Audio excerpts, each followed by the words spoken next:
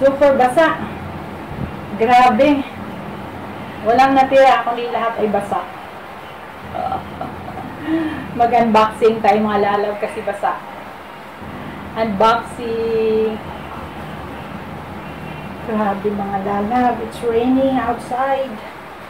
Grabe. Lakas ng ulan. Mahina lang ulan dito. Awa sa Batangas. Dito grabe lakas ng ulan. Basang-basa yung damit ko.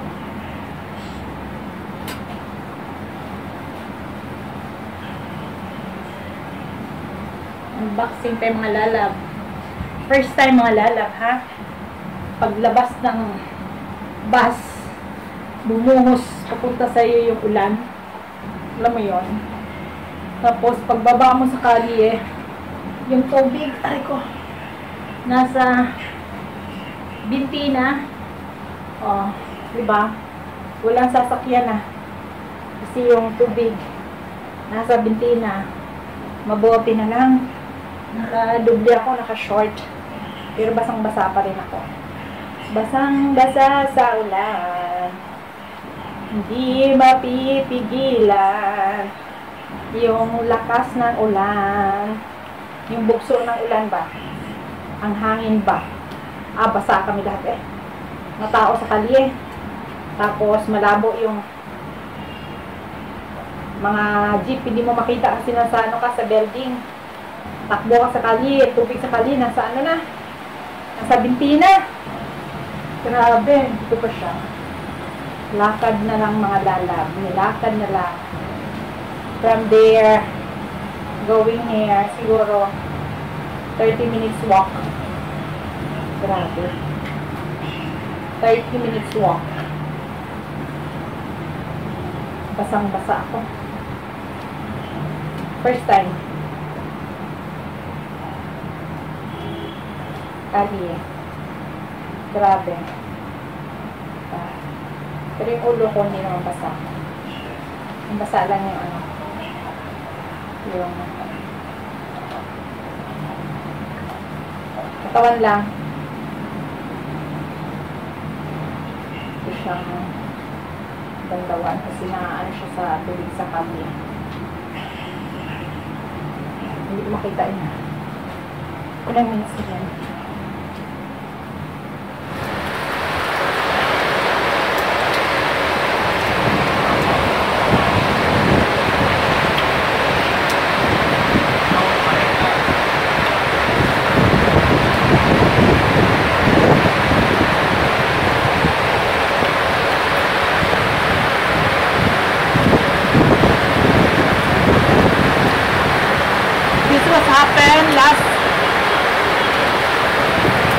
Friday, same like this, oh, when I'm in the uh, street, I'm just off from the bus, this was happened. So around 15 minutes raining, it's flooding.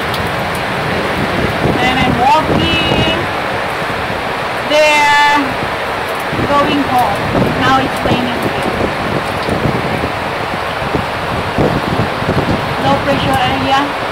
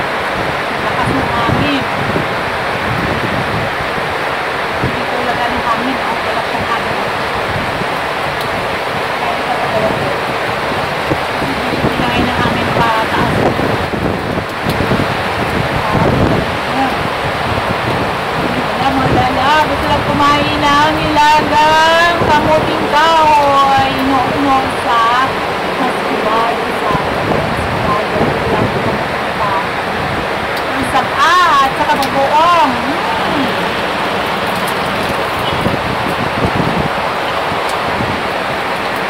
Pag overripe na ang jackfruit, mga lalab, ito na yung itsura niya. Hindi na siya yummy pag ano siya overripe. Kasi nga, ano, nagkakaroon siya ng watery inside dito sa tube niya. Tapos, yung seeds niya, tumutubo na. Kasi mayroon siya dong ano eh, ah, water sa loob. So, nag-grow na yung seeds. Pag overripe na siya. Tsaka, wala na siyang lasa, matabang, pero soft siya, soft. Ito mga lalabo, tinan nyo. Lahat ay tubo na. Yan. Nung hinihiwa siya ng may-ari. Sabi ko, bakit nagtutubig yung, yung ano, jackfruit? Sabi niya, kasi tag-ulan na po ngayon. Pag tag-ulan na, ganun siya nagtutubig. Yung pala, kaya siya nagtutubig kasi nga off-ripe na siya. So, nagkakaroon siya ng watery inside sa tube niya. Tapos, ang nangyayari, yung seed, doon sa tube, nag-grow. Ito na yung seeds niya, oh. Ang root ng seeds niya, lumabas na siya. ang tigas mga lalab ng ano ha, ng kanyang root ha. O, tingnan mo siya. Tumubo na siya. Yan, o. o ready na siya for planting. Yan. So, maganda itong planting na to kasi nga, tumubo na siya at saka, ang ganda ng ano nito, variety. Soft. Siguro, matamis to siya kung tamang hinog lang siya. Kasi ito, overripe eh. Diba, mga lalab? Yan siya. Pag kinagat mo siya mga lalab, sabay higop, parang balot. Mayroong juice doon sa loob. Juicy-juicy niya. Hmm. Pero yan sa loob mga lalab, may tubo na talaga yan. Ito lang yung mahigit isang, ano, pinili ko, 60 ang kilo. Ito lahat ay 87 pesos. Sabi ko, 80 na lang. Lahat na, oh, tubo na siya, ba diba? Naku, ang cute nito, oh. Mayroon na akong, ano, pangtanim. Yan. Lahat ay pangtanim. Ito. Yan.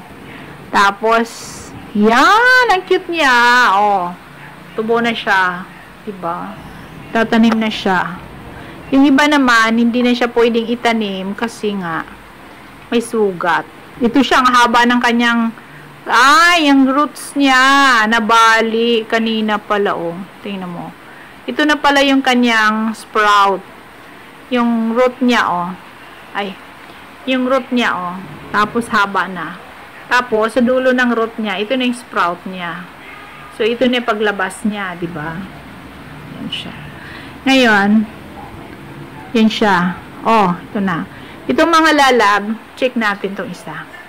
I-unboxing natin.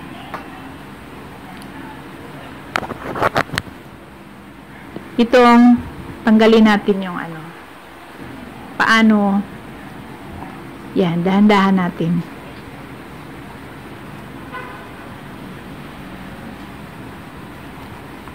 Sug na ako eh. Dami ko na nakain eh. Tingnan yung mga lalaba ha?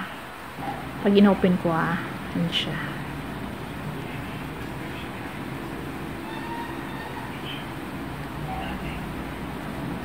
Diba? ang hirap kasi.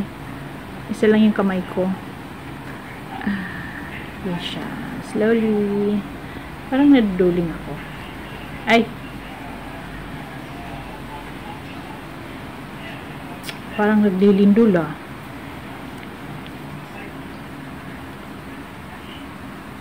yan yan siya mga lala ganyan siya sa loob pag overripe na yan o oh. lumalabas yung juice niya kaya sa tumutubo, kasi may tubig sa sa loob. Pag ang mga buto kasi, pag ano, o, oh, na mga lalabo, overripe na talaga siya, o. Oh. Tingnan mo yung juice niya. Juicy niya, o. Oh. Yan, tubig, o. Oh. Yan. Yan ang water. Kanyang juice. Sarap niya. Kaya siya tumutubo kasi nga, overripe na siya. Oh. Yan. Nag-juicy siya. Ang oh. Ang daming ugat to. Oh. Ugat. Roots. Ito yung roots niya. First time ko lang din nakatagpo ng ganito eh. Na ganito. Diba? First time lang. Hindi siya mga lalam. Diba? Scary. Grabe pala yung roots niya, no? Masyadong strong. Sinira yung ano. Parang ano ba? Parang yan siya. Hindi siya pwedeng kutsilyuhin kasi masira. Tatanim ko to eh. Yun siya mga lalabo. Yan. Eh, lumabas yung kanyang ano, parang ano ba? Yan, scary, di ba? Oh. Scary ba? So, scary ka ng scary dyan.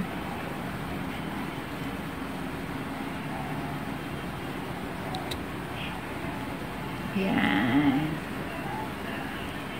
Ano ba? Healthy ba siya kainin? Kasi tubo na siya, may tubo. Ito yung nakita ko talaga. Yan. Oh. Yan, mga lalab. Oh. Yung kaniyang roots, hindi pa gaanong tubo. Parang wala pa siyang ano. Ito yung roots niya. Wala pa siyang, ito yan, oh. Ah! Parang ito yung kanyang ano, sprout. Ito yung sprout niya. Itong blurred yung aking camera. Oh, ito yung sprout niya. Ito yung sprout. Yun, oh. Saan camera? Yun. Ito yung nalalabas na yung sprout niya. Yan. Ito yung roots. Diba? Ito yung sprout niya. O, lalabas na. Yun. Palabas na siya. Yung mga lalab, tatanim ko siya sa paso. Tapos, update ko ha, kayo. Kung uh, ilang days siya magkaroon ng dahon. Diba? Itabi ko siya pagtanim sa aking ano, putato. Tapos, lipat ko siya doon sa bahay ko, syempre. Doon sa out of town. Yan siya. Thank you. I-check ko kung ilang araw siya bago magkaroon ng dahon. Yan ang aking jackfruit na over. Na over. Overripe. Na puro tubo na siya.